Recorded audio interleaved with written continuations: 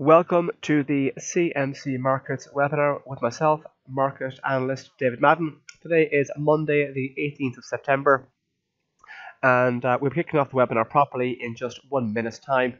As always, we'll be going through the risk warnings and the, and the, on the slides here in front of us to keep our compliance department happy. And before, before we actually go through the webinar itself, we'll just run through the risk warnings, which I'll leave here on the screen for you to read. Uh, it's very straightforward. Uh, it essentially says anything that is said in this webinar should not be construed as explicit in investment advice. It is just merely commentary uh, and, and discussing possibilities, what may or may not happen in the various different financial products that we look at over the next few days. So I'll just leave the risk warnings on the screen in front of you to have a, read through in your own time. Uh, it really shouldn't take that long at all. It's very uh, very short and to the point and concise. Um, it just basically says uh, this will keep our compliance department happy. Uh, and once we are through with the risk warnings, we will go through the usual process whereby I talk about what has gone on in the financial markets since the London close on, on Friday, uh, and also take a quick look at the week ahead, and then we'll have, we'll have a look at the major mar- major and most popular markets. Um, that, that, that are popular with our clients and talk about what is going on and what we potentially could see in some of, uh, some of those markets. And then, as always, if there are any markets that I haven't covered and you want me to mention, you want me to go through it, feel free to just stick that in the chat box, and I'll happily have a look at those markets. So now that we've gotten the uh, slides out of the way, we can now focus on the actual webinar itself. So First off, the first thing we noticed this morning uh, is that, or that is equity markets are higher. Um, the, FTSE and also continental Europe are, are, are doing all right. They're in, they're in positive territory. Uh, they had a bit of a sluggish end to last week and Wednesday onwards. Particularly, we saw the FTSE had a major sell-off uh, on, on Friday on account of the very, very strong pound. Uh, I remember that the Bank of England added to the previous hawkish commentary we've heard on from the Bank of England on Thursday and it was very it was uh, kind of caught traders by surprise how, how hawkish he was. And we saw a surge in the pound, and conversely we saw a large sell-off in the FTSE 100. But we also saw um, some we saw a kind of a, a fairly um, weak finish uh, to the continental and the eurozone equity markets at the back end of last week as well. This week, effectively, uh, we've, we've seen kind of risk attitude pick up. Uh, we've seen money go into equities and, and come out of the kind of classic safe havens such as gold, for example. Uh, basically, uh, there hasn't been a whole lot of you know major macroeconomic or political news in the, in the last few days. But essentially, what that is is a lack of negative and new negative news is seen as a positive. Uh, that's what that's what we are looking at here. The situation regarding North Korea, unfortunately, is still still ongoing. Uh, but it does appear that that the traders and investors are getting used to the kind of almost the, the background noise of the rumblings out of Pyongyang. And seeing as we haven't had a continuation of a ratcheting up in tensions, which we saw there for a number of weeks in a row, traders are now viewing that as a sign to actually take on more risk. And that's precisely why we're seeing equity markets uh, doing quite well this morning.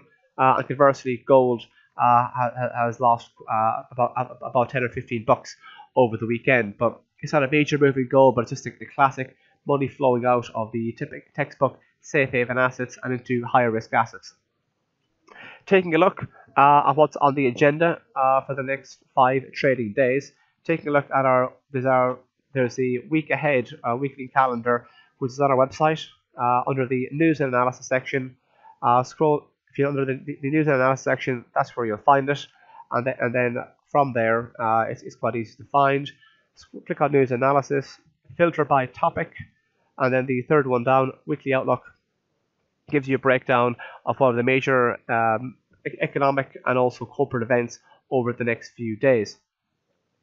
So, taking a quick glance here, what we what we looking ahead to tomorrow. Uh, what we have uh, on out tomorrow, we have FedEx have numbers out on Wednesday. We have Kingfisher uh, have, have their numbers out Wednesday, uh, seven uh, Wednesday evening London time, uh, we have the, have the update from the Federal Reserve. We're not expecting any change in policy from the U.S. Central Bank, but we may hear about uh, when the Federal Reserve are looking to um, wind down the size of their balance sheet. Uh, there is speculation out there. We could be, uh, we could be, we could see the U.S. central bank look to, to start winding down their balance sheet as of as, as early as next month. But in relation to rates, uh, uh you know, we're not expecting any change tomorrow, and and still, um, the kind of the, the markets aren't still pricing in, uh, aren't, aren't overly concerned about a rate hike from the Federal Reserve in December. So any kind of any of the language that we, we may hear from the Fed could give us a clue in relation to uh, interest rates, more importantly, uh, but also that the traders are sort of expecting to hear about the tapering, or the winding down of the uh, Fed's balance sheet. We have an update also from the Bank of Bank of Japan overnight on Thursday. That's obviously going to be very important for anyone trading the Nikkei or for anyone trading the, the dollar yen. Uh, and also, we, we, have a number of PMIs out uh, from Germany and France and, and, and the Eurozone uh, at, at, the back end of the week. So, scrolling down through the corporate calendar, uh, what we can see here is tomorrow we have Bed Bath and Beyond, FedEx, as I, as I mentioned, uh, Kingfisher, as I mentioned as well, at half, at half year numbers out in the UK on Thursday, Capita Group on Thursday, and Kier Group. Uh, Capita, a first half numbers, Kier Group, a full year numbers out on Thursday. And taking a look at Friday, uh, Smiths Group have their uh, full year numbers out. So the corporate front, it's there's a few bits and pieces, but uh, it's obviously it's reasonably quiet on the corporate economic front. Obviously, the big one of the week is going to be the Federal Reserve, and if you're in, if you're interested in trading, obviously the the, the, the anything to do any of the yen crosses or the Nikkei, you'll also want to keep your eyes peeled for the Bank of Japan update overnight. Uh, turning around, and also we, we do have an update uh, from Mr. Draghi on Thursday as well. So, any kind of clue to when potentially the European Central Bank may, may look to alter their or potentially trim their bond buying scheme, that could also be uh, that that would be of uh, of uh, you know quite quite significant importance, seeing as we have seen a bit of a softening of the euro, particularly against the British pound, uh, in, in the last couple of days. Taking a look at the uh, the FTSE 100, um, basically we had a major sell-off, uh, quite severe sell-off on Friday, and we have bounced back from that. But but while we were we are well below the the 200-day moving average um, on the FTSE 100, and while we while we remain below that key barometer, uh, it's likely that, that the outlook for the market is going to be negative.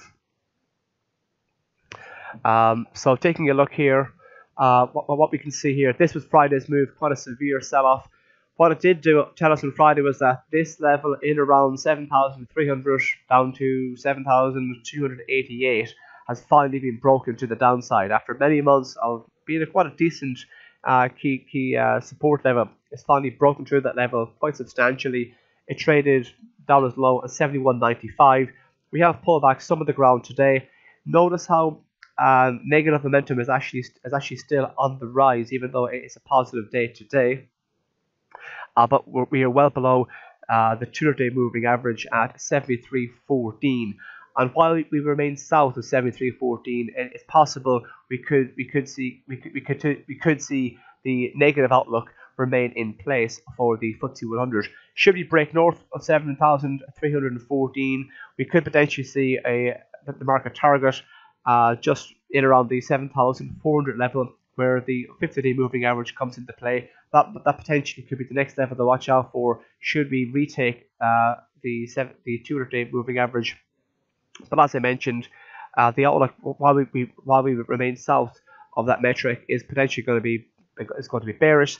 So downside targets we could be looking to Friday support at 7,195, and then below that, the next big level to watch out for could be the April low of 7,088.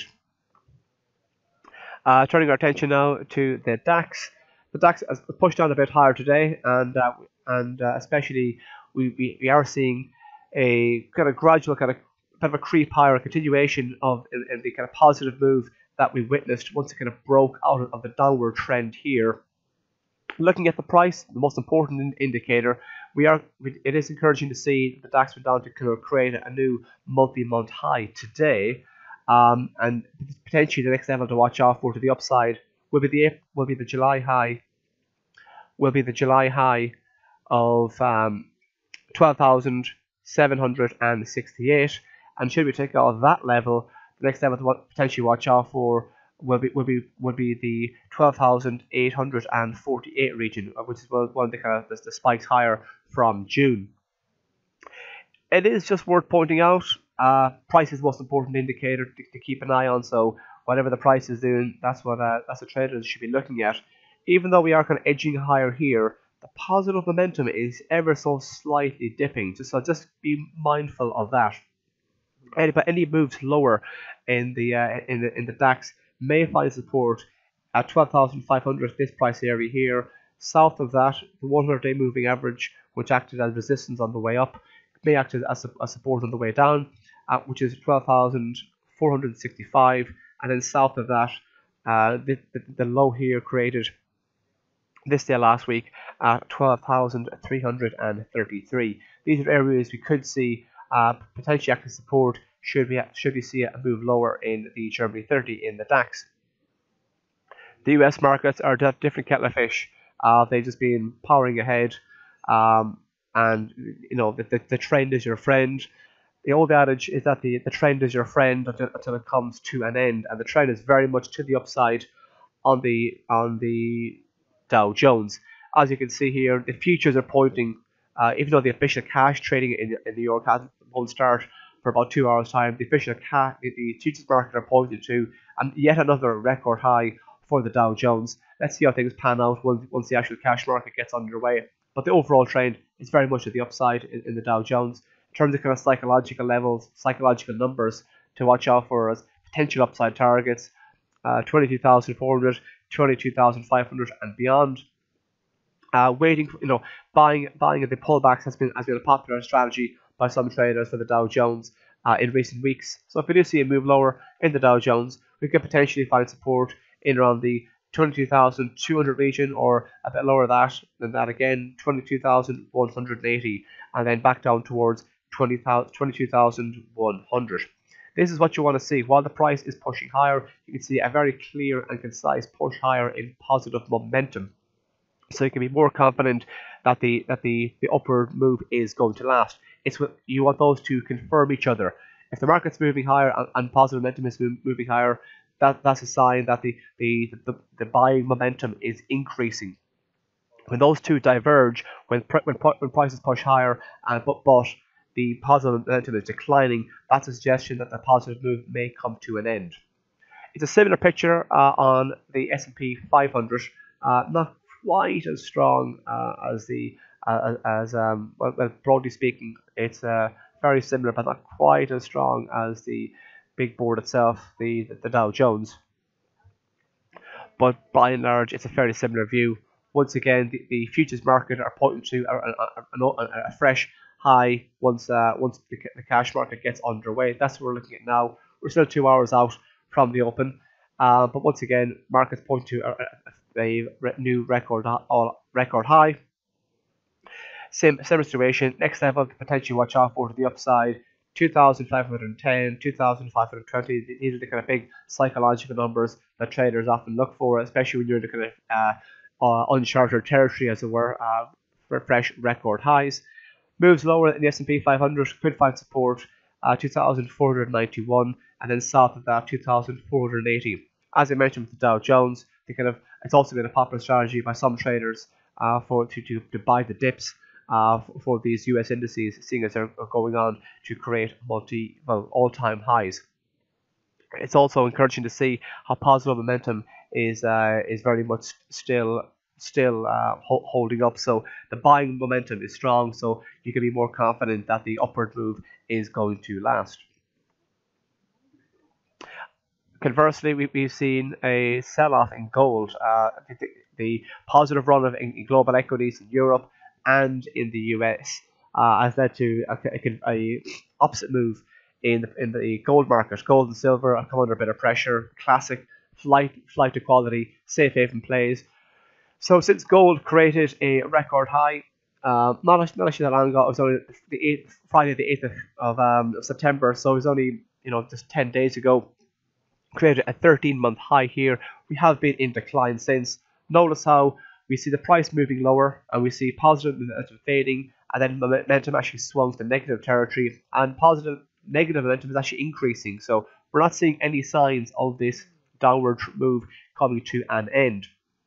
What we may what we may well see is we may well see a further decline before we potentially have fit into the resume the wider big picture trend. So we could be looking to push down towards 1305, 1300, big psychological number, and then 1296. 1296 is, is significant because it was the it was the kind of the top end of the range that uh, that gold was in. It acted as resistance in, in June and also in, in April. It, it was sort of the top end of the range while the, the commodity was kind of range bound for a number of months in the kind of first or second quarter of this year. So we could potentially see uh, uh, further, we've already come we've already come back about 40 bucks from the uh, from the September high. We could potentially drop down towards thirteen 1305, 1300, or maybe even 1296 before we, we may or may not see uh, see a resumption of the wider upward trend. Bearing in mind that gold has been in a broadly speaking a positive move um, well, since about December uh, last year, but particularly uh, uh, particularly kind of more aggressive positive move since the uh, since the lows in July. So we could easily potentially see a push higher um, in, in, the kind of in the kind of medium term. And should that be the case, uh, bulls would then be looking towards the resistance here at 1334, and then north of that, looking to the September high of 1358, and then beyond that 1375, which, which was a high of last year. And then if take out 1375, the big psychological $1,400 would then be uh, the next one on the radar. Silver, uh, similar looking chart, whereby it's um, a very kind of a positive move, upward trend since July. But we have seen a bit of a pullback in recent weeks. Similar situation here. It was Friday the 8th of, of, uh, of September it would to create a multi-month high, a level not seen since April this year. So, uh, but we have seen a bit of a pullback since then. As you can see here, the the positive momentum started to dwindle, and then it actually turned around into negative momentum. And similar with gold, we haven't seen any signs uh, that this of uh, seeing as ne negative momentum is rising. We could potentially see a further declines in the silver market before we may see a resumption of the wider upward trend.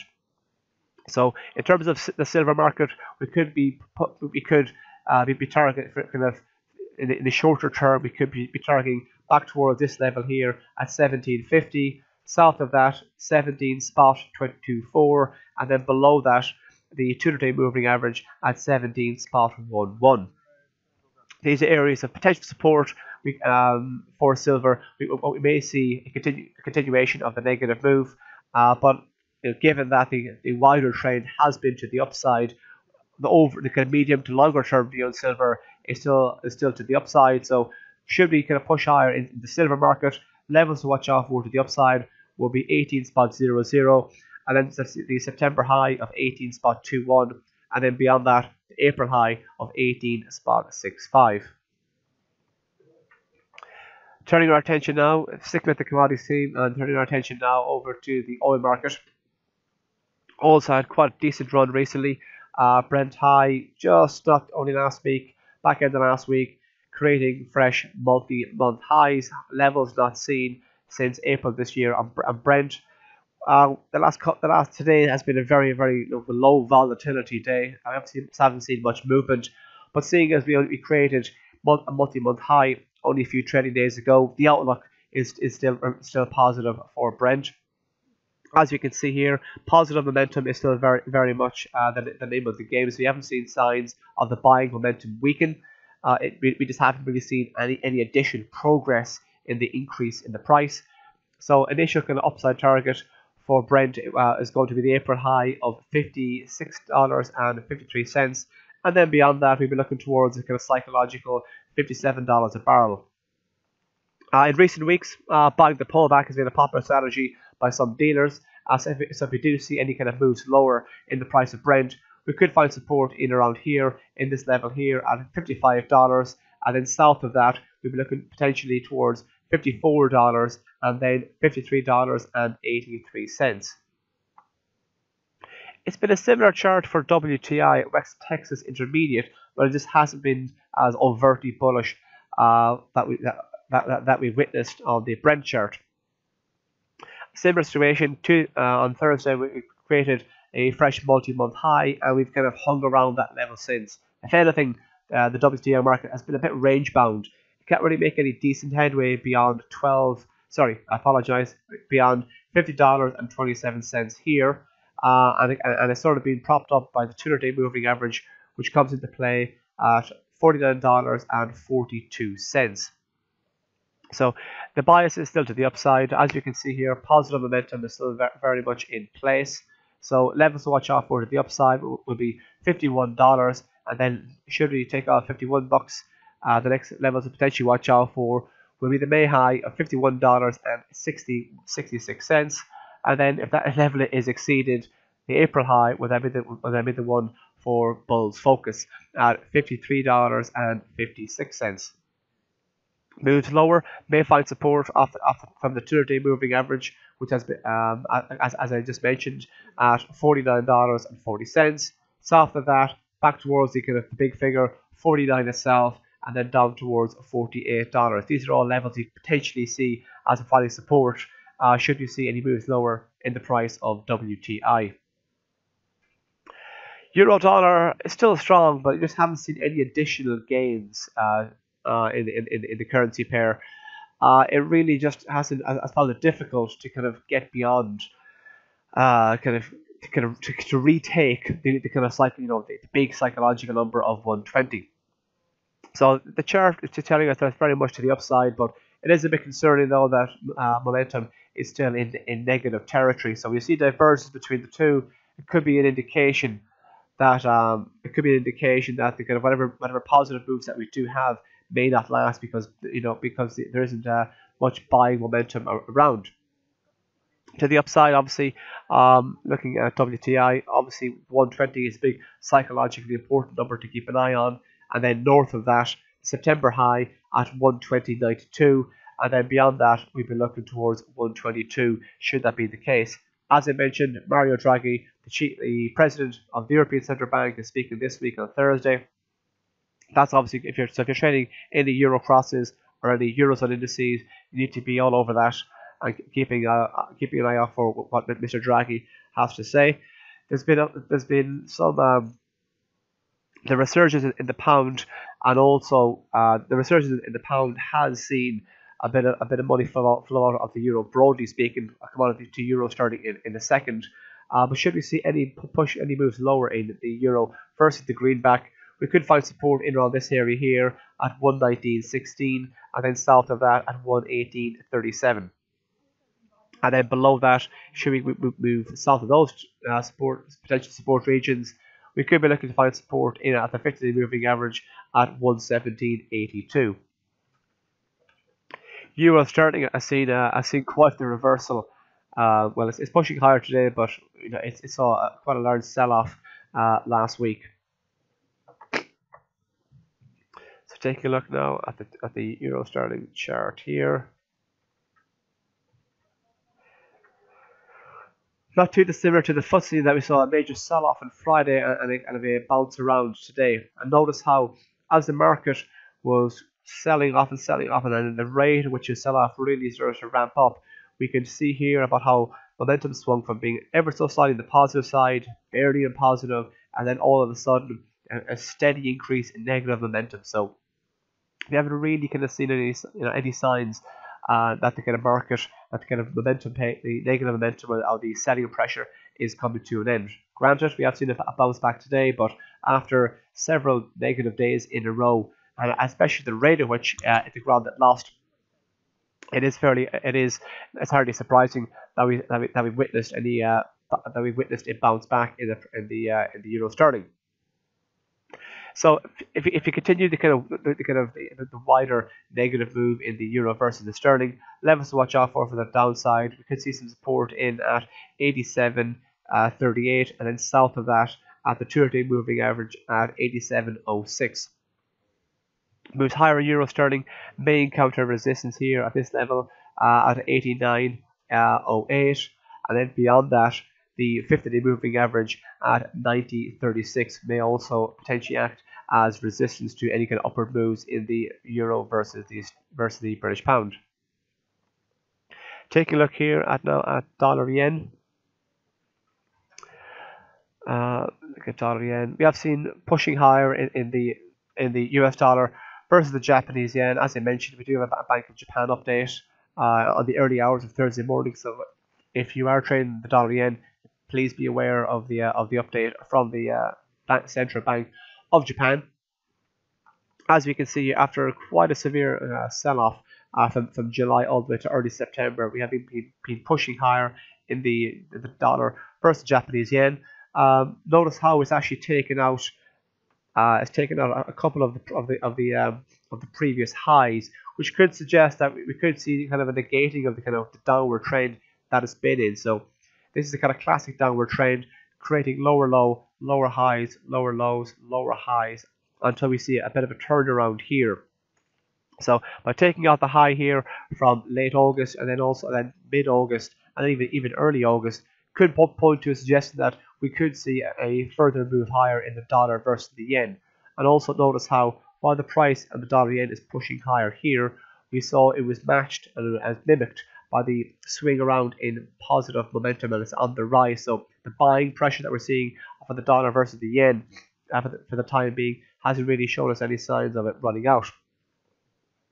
So levels to watch out for to the upside would be the 230 moving average at 112 spot 26 and then if we go beyond that uh, the next level to watch out for will be the will be the 113 region for the dollar versus the yen but um, seeing as we have lost a lot of ground in the last few months uh, if, if, if, the, if the kind of wider downward trend since July does resume, levels to watch out for for the downside on the dollar yen could be this level here at 110.67 and then south of that we'll be looking back towards this just shy of 109 and around this price here at 109.24 and then back down towards the 108 and 107.32 region. That's if this wider trend continues, but we've taken out a few highs, and the and, and the momentum is still very much in, in the positive side. So I, I, suspect we could see more ground uh, being gained from the dollar versus the Japanese yen. Taking a look now um, at the at um, one last kind of quick glance, and we've got one minute left on the actual um, on the actual webinar itself. Uh, so if you have no questions, I'll be wrapping the, the webinar up uh, in just one moment's time. Take a look at the Australian dollar versus the US dollar. big picture is telling us since May it's been a very strong and a powerful kind of upward trend. After spiking in early September, uh, it, it, has found it difficult to kind of to kind of retake those highs, but we are seeing a bit of a, a bit of a kind of a, a, an attempt to retest those levels. The momentum indicator really isn't telling us anything. It's, it's kind of reflective of the price, not really moving in a clear and concise direction. But I suspect while we remain north of this level here, um, this support level here at seven at zero spot seven nine forty two, I suspect that the, the, the overall positive sentiment is going to remain in place. So any kind of moves higher in the Aussie dollar um, may encounter resistance at 80.65, and then north of that we'd be looking towards September high, which comes into play at 81.25. Should it move south of uh, this this area here, we, we may find support from the 50-day moving average at 0 spot 77930 and then below that we're looking back towards uh, 0 spot 787073 uh, so that in terms of the markets we covered uh, we've, we've, we've covered the major markets. I'll just quickly remind you about future webinars that we have on. Um, in terms of webinars to, um, on the the page where you found this on our uh, on, under the learn section webinars and events on the same page where you found this we have webinar tonight um, at, at 7 p.m london time 1900 1900 uh, hours british summer time um, it is the trader development program part 3 um, that that is tonight um, at 7 p.m. London time on on Monday the 18th of September 7 p.m. London time 8 1900 British summertime. And looking ahead to Wednesday, we have a web, we have a webinar at 19:30 British summertime, so half 7 p.m. London time. Uh, the webinar is covering combining technical analysis with digital 100s. And that is on Wednesday, the 20th of September at 19, 1930 British Summer Time, 7:30 p.m. London time. So feel free. And then obviously next Monday I'll be back. I'll be back here live uh, at 12:15 for the for the weekly uh, for the for the Monday weekly webinar. As I mentioned before, in terms of news analysis, uh, some of the articles that we get that we write on the news analysis throughout the day, myself and the analysts around the world get posted to, to this section here. So regardless of what time zone you're in, it's all you're gonna uh, you're going to be seeing analysts regarding analysts update from around the world being, being posted here. Some of our uh, some of our analysis gets posted to the news analysis section of the website. Other portions of it actually go directly onto the trading platform itself under Insight. And Insight can be found by clicking on the Market Pulse, and the second option down is the Market Insight. So some of the some of the some of the, some of the analysis gets posted on the website some gets posted on Insight, which is within the trading platform. What we also do here as well is we also do we also have a chart forum. So we put up a, a snapshot of a chart and we write a few other characters about what we think the chart can potentially do. And the chart forum can also be found under Market Pulse. So it's the third option down on Market Pulse. And then lastly, I'll show you the economic calendar, our fourth, fourth option down on Market Pulse. It gives you a breakdown of the major economic events that are on the calendar for the, for the next few trading days and also show you what the forecast is and what the previous month's reading was. So, as I mentioned, we do have some, some, some important economic data coming out this week. And uh, obviously, if, if, you're if you're trading the financial markets, it is a good idea to, to keep out, keep an eye out for what economic news is coming out. Uh, I do want to thank you for your time. Uh, I appreciate you tuning in and listening. Please sign up for, for future webinars and I hope you have a good trading week. Thank you very much.